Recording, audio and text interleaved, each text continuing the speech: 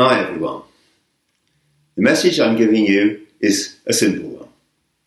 We need to give each other more hugs and kisses because skin hunger is now a real problem that is negatively impacting on both our health and well-being. Humans are after all group animals and we need the well-meaning touch of others to help us thrive properly. Nowadays, simple touch given in a friendly fashion can inadvertently be mistaken for assault or even molestation. We feel safer cuddling our pets than we do each other. Paradoxically, the less we touch each other, the more society considers this to be a normal state of affairs, and skin hunger is encouraged to perpetuate.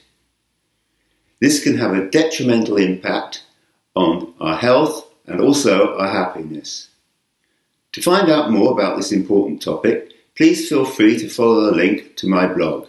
And thank you kindly for taking the time and patience to listen to this short film.